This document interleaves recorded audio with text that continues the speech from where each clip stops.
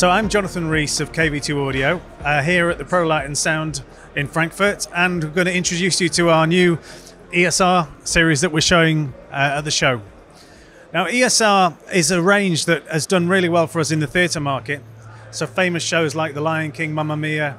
There's actually almost uh, 70 or 80 shows now that have moved on to an ESR series because of the quality uh, from it in theatre.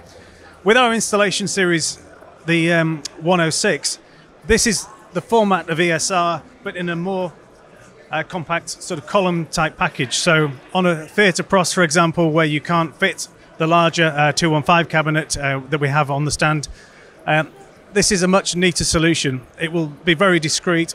It can be built into into walls um, more easily, and it's it's not a typical column speaker as many people are producing these days. So it's very good for music as well as for speech. The intelligibility is very good. It throws a long way. Uh, it has good vertical dispersion. It's under control, so in reflective buildings like churches and things, it works particularly well. And it's just a nice looking discrete solution with the sound quality that's become synonymous uh, with the ESR range.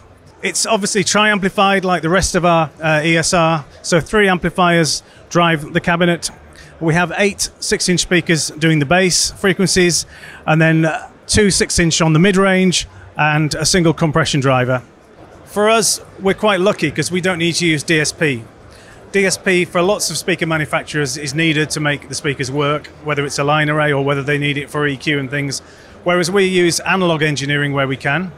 We do have digital systems that are actually running uh, at the highest sampling rates of any professional speaker system in the world. So, you know, we understand digital and we use it when we need to, but where we can, you know, analog is nature analog is sound, it's a smooth curve, and that is why the KV2 sounds the way it does. So outside we have our VHD system, very high definition. Um, it's a three-way, fairly compact um, mid-high cabinet, but covers large areas. So typically up to 5,000 people, depending on the application, with just one cabinet per side, um, and some subs, obviously. Um, but it's just a very high definition, very high quality. And I think from the comments at the show, people are starting to appreciate the difference of KV2 there's lots of choice in the speaker world. You know, our way is maybe not the only way or the, or the right way, but it's it's the way we do it. And from a demo, like outside, um, when we see people smile, that's the KV2 difference. It's relaxing. It's not it's not hard to listen. Uh, the sound is not so much. We have problems uh, because we're very dynamic, very musical, and uh, these days with a lot of digital processing, the dynamics in music is gone that's good if you want to uh, keep a very compressed sort of level outside, uh, no excitement, no interest. But when KV2 do a demo and you hit the snare drum, suddenly it's like, whoa, the level is up there. The excitement from the music uh, is very, very real. But uh, yeah, you may notice that on the sound meters outside. That sometimes the KV2 is going green, yellow, green, occasionally red.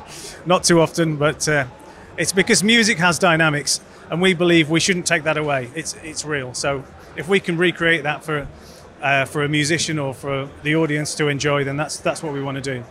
And one thing that's unique for our systems is when people listen, if they close their eyes, suddenly the speakers disappear. It's it's a unique feeling. Um, whereas with with many systems, again relying on lots of processing, if you close your eyes, you can say, "Ah, oh, there's a speaker. Yeah, I can I can hear it. It's just there."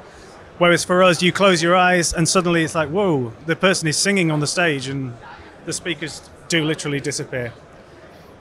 There's lots of magic in there in the electronics, in the transducer design, and eh, we can't give all our secrets away, but when you put all the ingredients together, you get the KV2 magic that, that you know, it's, it's natural, it's nature, it makes people smile, and we believe it's hopefully the future of, of you know, people wanting better quality sound.